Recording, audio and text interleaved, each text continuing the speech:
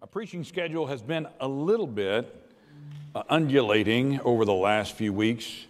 I had committed to preaching through Hebrews on Sunday evening, but then we had a Guatemala trip report, and then we had a patriotic celebration, and I decided just to move Hebrews to Sunday morning church. And as I realized what passages were going to fall in these two Sundays, I realized, well, this is not a bad thing because I figured out that you needed to hear this.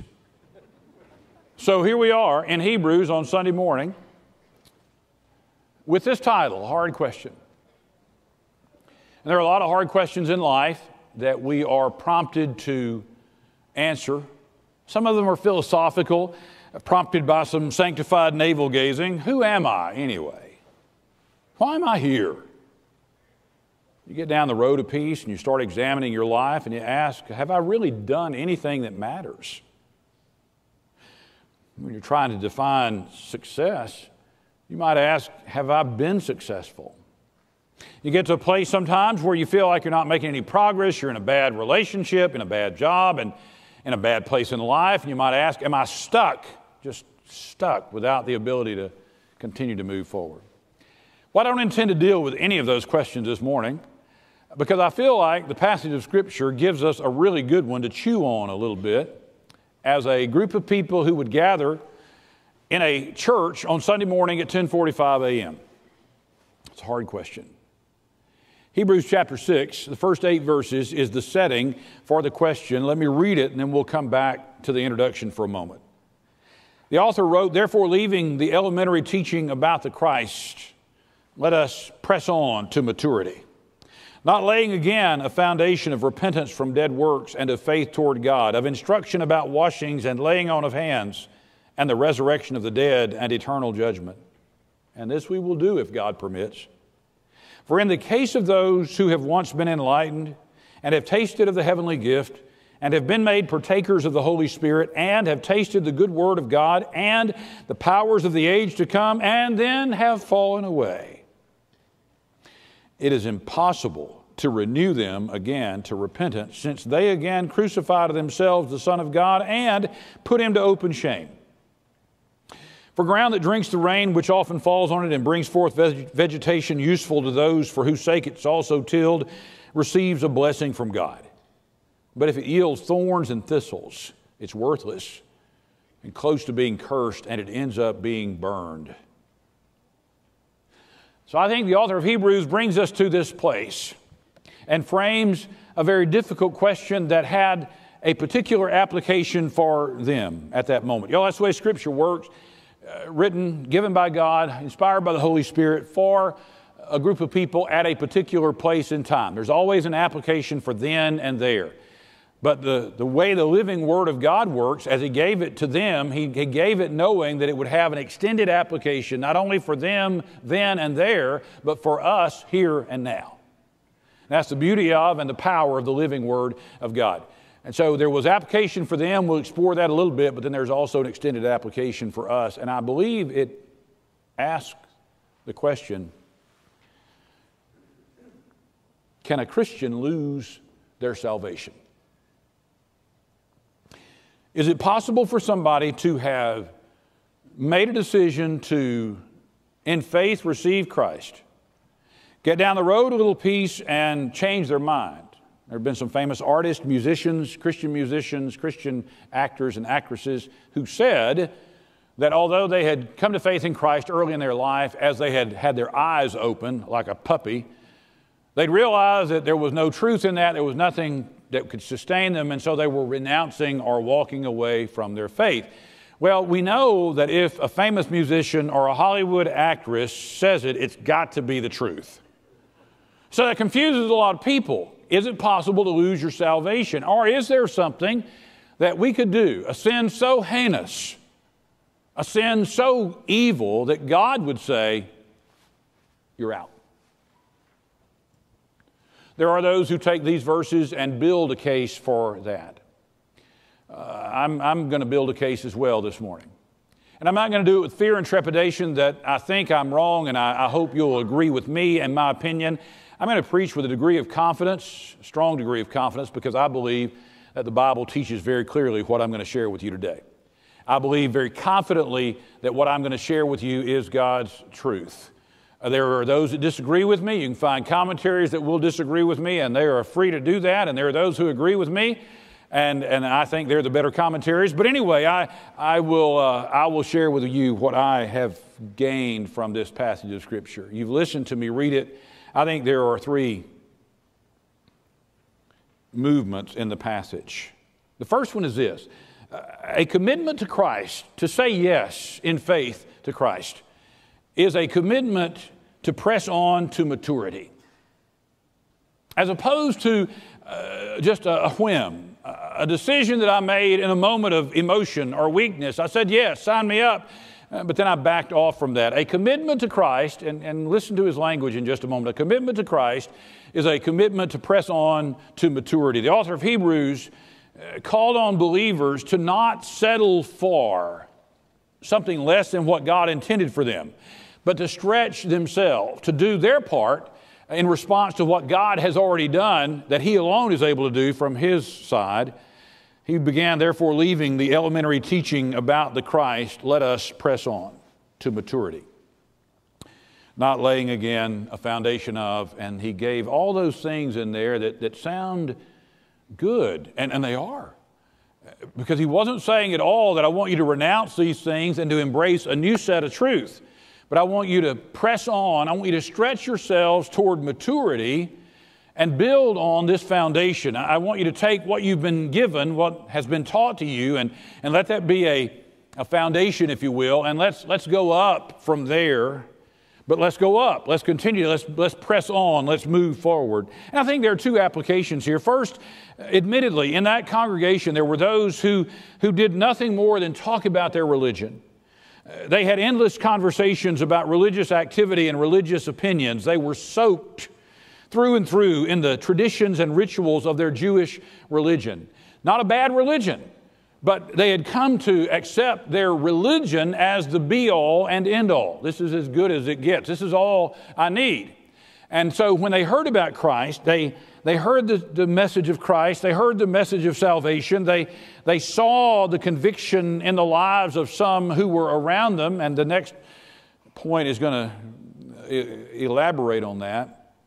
But there wasn't enough in what they saw, enough in what they heard to make them take the next, story, next step forward. They just settled in where they were. The author challenged them to move on, to press on to faith.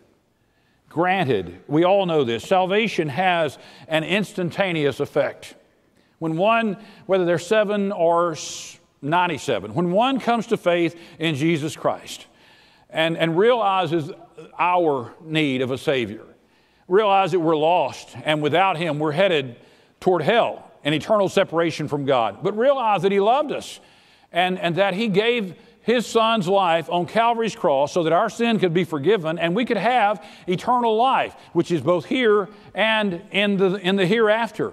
And so we, in childlike faith, and that's all we can do, is receive what God has provided through His Son, Jesus Christ. And I, I am convinced at that very moment, at that moment, in that instant, our names are written down in the Lamb's Book of Life. Amen. Hypothetical. Let's say that you know, a child on Thursday night at home, prays with mom and dad, and they've been persistent, they're ready. And, and they say, I, I want Jesus. I want Jesus in my heart. I need Jesus in my heart. I don't want to live or die without Jesus. And mom and dad relent because we're nervous about a seven year old. We want to make sure they know what they're doing. This child is, is unrelenting in their persistence. I, I'm lost. I, I'm a sinner. I want to be saved. And they pray. It's not the prayer that saves them, it's Christ who saves them. And in faith, they receive the gift of eternal life through Jesus Christ. And on Thursday night, from our perspective, in that moment, their names are written down in the Lamb's Book of Life.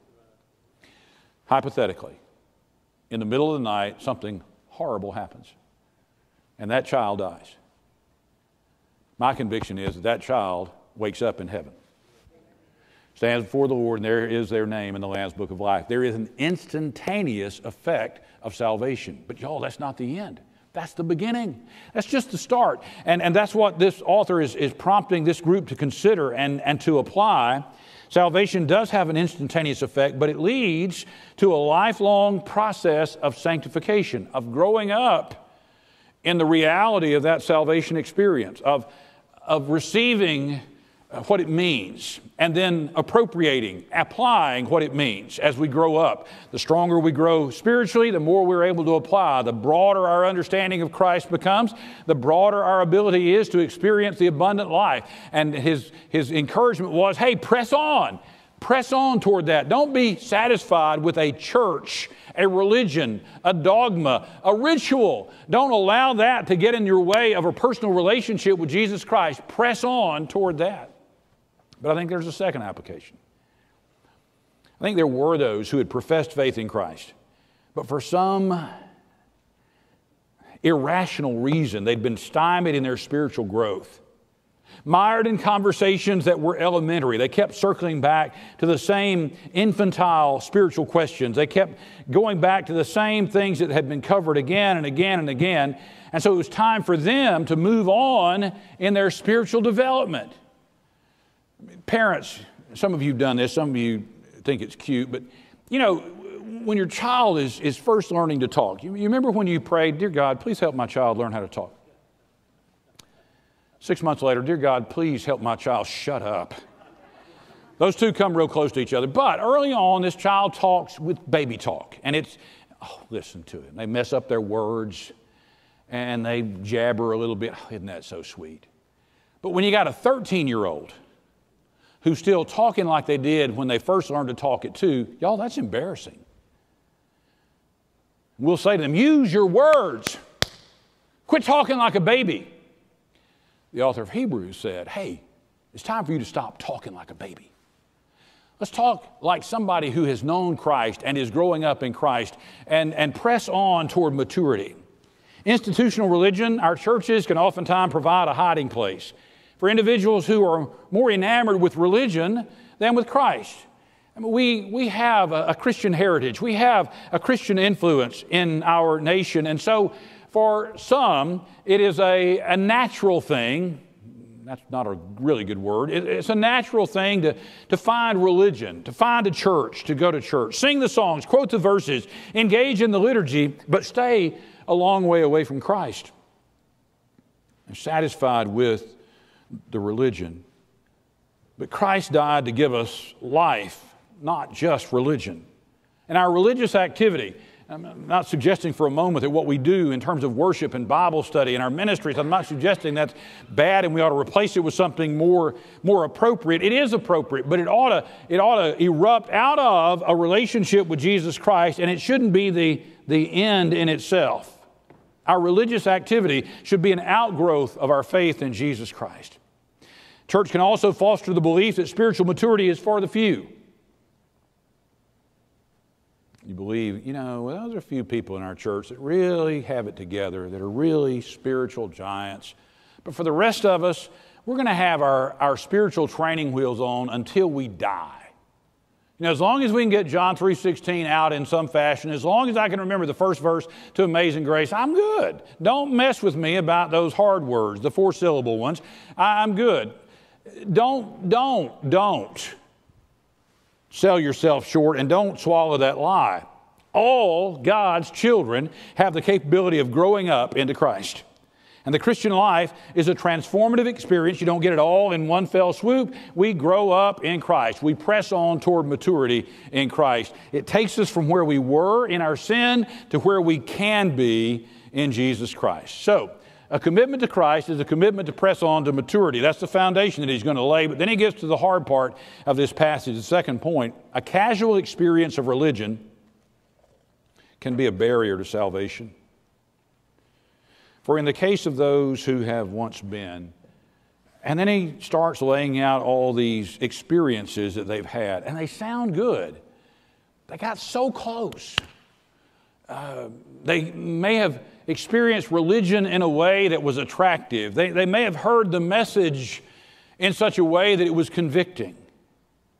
Maybe you've been there, maybe you haven't. But you get caught up in a moment, and there is a, a euphoria, there is a, uh, an emotional catharsis. Uh, if you're prone to, to cry, to weep, you may have had one of those moments where you actually shed a tear and went, Wow, I don't know what just happened, but I, I don't usually cry, but I cried in church this morning. Or, or maybe there was just this profound, whoo, that was so good. My goodness, it must have been the Lord. Well, I hope, but not necessarily.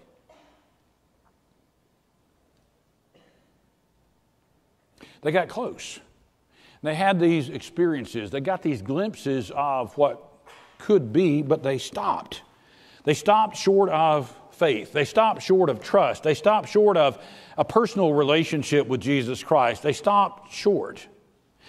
I, I want to assure you that the author of Hebrews is not suggesting the possibility of losing one's salvation. The passage, this passage, has to be said in the context of the entire book of Hebrews, and that's just a good word about biblical interpretation and, and Bible study. Please do not take a phrase or a verse out of its context and build your religious argument on that phrase or that verse. That is very poor stewardship of the word. Uh, get the context of the paragraph, get the context of the, of the section, get the context of the book, and then set it in the context of the New Testament, set it in the context of the entire Bible. Because the Bible is never going to contradict itself. It never will.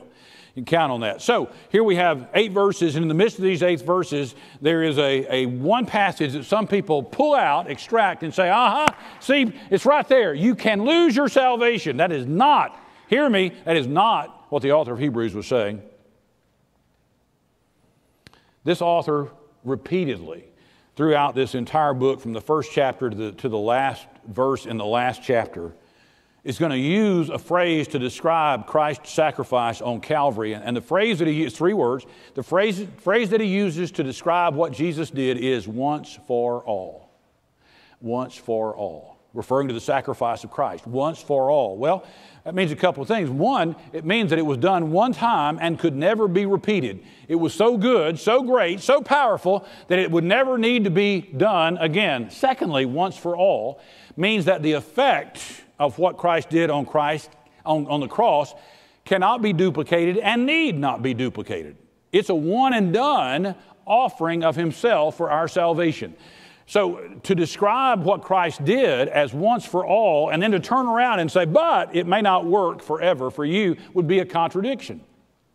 He's not suggesting that you could lose your salvation. He does boldly state that if one could lose their salvation, if it were possible to walk away, to renounce, or to, to have your card uh, jerked from you, it would be impossible to renew them again to repentance.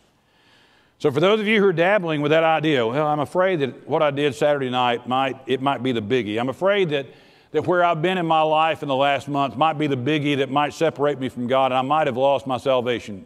Let me assure you, if you could lose your salvation, you're going to hell. There's no other option because he said clearly it would be impossible to renew you again to repentance. So the logical conclusion then would be, well, I better, I hope I, I hope I don't lose it then, because I want it when I die. Well, of course you do. You want it to be an effect when you die, because if your salvation is not an effect when you die, you spend eternity separated from God in a place called hell. He's not suggesting that you can lose it. Because those who claim to have lost their salvation, and I'll go back to the singers and the actors and actresses and just normal folk like you and me, but those who claim to have lost their salvation are denying the efficacy of everything that Christ did on Calvary. They're saying Jesus didn't work on Calvary. They're denying the power of the resurrection. They are, in effect, denying Christ. The author was writing to an audience that included many Jews who were struggling to let go of their deep Judaistic roots and, and having difficulty embracing Christ. They'd come so close but had failed to receive Christ. And for them, so close but no to Jesus. I feel drawn, but no, it's not for me. Jesus isn't for me. He was exactly right when he said, if you reject Christ, if you refuse to receive Christ, you have no hope. He's he is the only way. There's no plan B. There's no option number two. He's the way, the truth, and the life. And to reject him is to reject life. To reject him is to reject the possibility of salvation, for Jesus is the way. Now, let me interject. I mean, this is not in my notes, but I feel compelled to interject this uh, because some of you are still, oh, you're hung up on works. Clint, I, I, I don't know. I want to keep it together. I want to be good until I die but you just never know what's going to happen. No, you don't.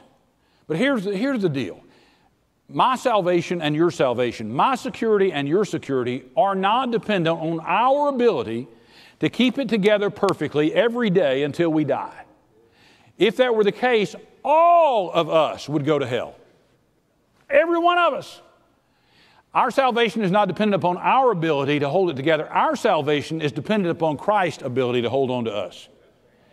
And the scripture very clearly says, of those whom the Father has placed, have placed in my care, those who he has put in my hand, I will not lose one of them. Jesus himself said that. I got you. I got you. The, the ad campaign is He gets us. Eh, that's cute. But I'm telling you this morning, He's got us. He's got us, and nothing's going to take us away. Okay, let's take that one step fur- further, and we're going to go to point number three and wind this baby up. A genuine faith will result in a fruitful life. One who's encountered the living Christ and received that gift of eternal life is going to have evidence in their life evidence of Christ. As, as most good Bible writers and the, teachers in the Bible did, he says, Let me give you an illustration. And so he kind of gathers everybody up in their imagination, and they go out back and look out at, at the pasture and the garden and the land behind the house. And he said, You see what's out there? Yeah, yeah. You see that place over there that's been tilled and uh, taken care of, prepared, planted cultivated. You see how beautiful that is, and there's, there's plants, and there's fruit, there's vegetables, and, and it's gorgeous, right? Yeah, yeah. You see over there? That part that's been untended, left to its own devices. You see what you see over there? Yeah. What? Thistles and thorns, right? Yes, thistles and thorns. You see a tomato over there? Nope. You see a watermelon over there? No. You see any leeks over there? No. You just see thistles and thorns, right? And you don't even want to go in there. Right, right, right. I said, okay. Let's use that as a word picture. For ground that drinks the rain which often falls on it and brings forth vegetation, useful to those for whose sake it is also tilled, they receive a blessing from God. Okay. So, ground that has been tilled, ground that has been prepared and planted, uh, it, it brings forth fruit. Vegetation useful to those for whose sake it's also tilled, and it receives a blessing from God. Now, there's a, the other land that also gets rained on. And, and here's the deal. For, for some uh, unclear reason, and I can't figure it out, uh, for some unclear reason, God, I believe, has chosen to bless the United States of America.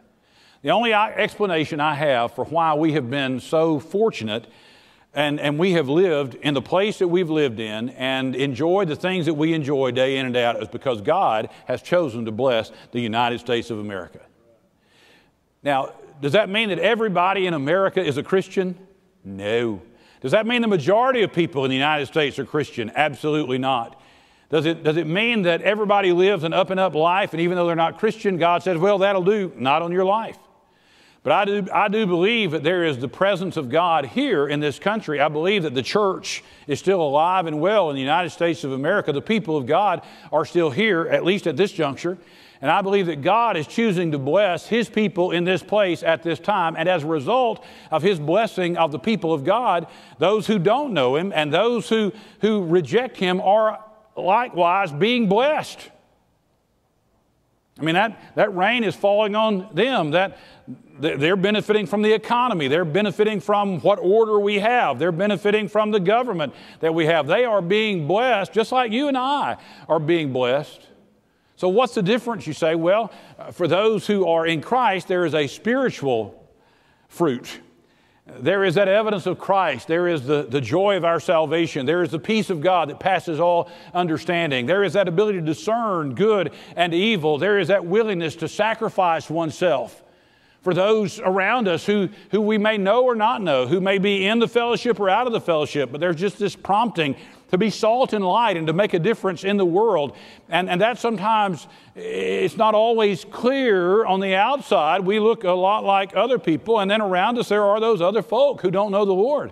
And they got good jobs and they live in big houses and they drive nice cars. And you say, well, Clint, isn't that a sign of God's blessing? Not necessarily. What's absent then? Spiritual fruit. In their lives, there's a, a spiritual barrenness. And their life is all about what they can drive and what they can wear and where they can live. That's all they got. And one day they're going to leave all that behind. And when they leave all that they've got behind, they got nothing to look forward to.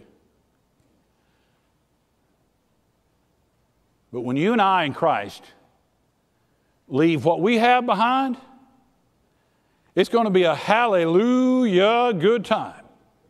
You say, Clint, I don't understand what you're saying now. I like my stuff. I like my stuff. I like my stuff. But God's blessing and what He's going to reward us with in heaven are going to make this stuff look like pitiful rags and trash. And, and he, He's going to allow us to step into His presence and to enjoy His presence for all eternity. And those who are outside of faith in Christ will be eternally separated from Him. So He said, Look out there.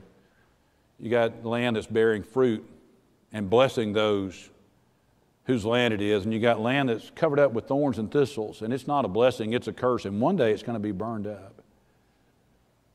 One who is in Christ has the presence of Christ and the blessing of Christ. The blessing more at times than others, the joy more at times than others, the peace more at times than others. That's just the way it is. We're all going to have bad days. I, I mean, I, will I'll tell you, there are some days I don't feel very preacherly. I just don't. And I, in those moments, they don't last long, but in those moments, I'm praying you don't call me because I don't want to talk to you. And, and in those moments, my, my feeling, my human feeling is don't call me and complain about your problems. I got my own problems. And that's the beauty of caller ID. I can see who it is and choose not to answer it. You know, on those days, in those moments, they don't happen very often. Uh, but when I feel preacherly, you know, we're good to go. But I'm glad to know that when I don't feel preacherly, God's still God. My salvation is still my salvation. I'm so glad to know that God is still in me and working in me when I'm not at my best because He is who He is. But he's not going to let me stay there. He's not going to let Clint Davis sit down and, and be a horse's patoot. He's not going to allow me to say, I don't feel like it today, God. You go and get somebody else to do what you're doing. He'd say, No, Clint, I called you. Get up off of it, brother. Let's go. And, and, and God, God has a big foot. It's wider than this. I'm telling you, because I have felt his foot in my behind on more than one occasion. Get up. Quit your whining. Quit belly aching about what they got and what you don't have and what they are doing and what. Shut up. You say, well, God doesn't talk like that. Maybe not to you, He does to me. and I get up and I, I remember, God, you are so good. God, you are so great. And thank you for allowing me to be a part of what you're doing. Now, what do we do with this? One, if you're here today and you don't know Christ, and you're satisfied with coming to church once every three months and getting you a little hint of religion, and you think that's going to get you through, consider the thistles and the thorns. That's where you're headed. You're trying your best to do the best you can with what you've got, and it's going to fail you at some point in time if it hasn't already. Jesus will never fail you. I'm encouraging you to trust Christ to forgive your sin, to give you his eternal life, and to help you get to that place that he created you to be in. Maybe you're here as a believer and you've wandered off. It happens. You've wandered off for a season. You, you've never known the Lord to leave you, but you've wandered off and gotten distracted by other things. And it's time for you to come back to that place where you say, okay, Lord, I'm tired of fighting against you. I'm tired of wasting opportunities. I want you to work through me like you want to work through me. And if it's here, so be it. And that might mean you stand with us as a church, become a member of our church. It may be that you've never been baptized by immersion. You'd say, I'm a Christian. I know that, Clint. I know Jesus saved me, but I've never, I've never stood up for my salvation. I've never stood up with Christ. I want to stand with Christ. I want to stand with His church. I'd like to be baptized to give that testimony of my salvation. Man, it can happen. It can happen. If that's what God's prompting you to do, let's, let's follow God's leadership. Pray with me. Father, thank you for your presence here through this service today and for the truth of your word. And Father, I pray that we've been good stewards of that word and you will take it and apply it. You will uh, use it to draw us and to guide us. I pray that you will bless this invitation and, uh, and just call us to, to walk a little closer with you today. And I ask all this in Jesus' name.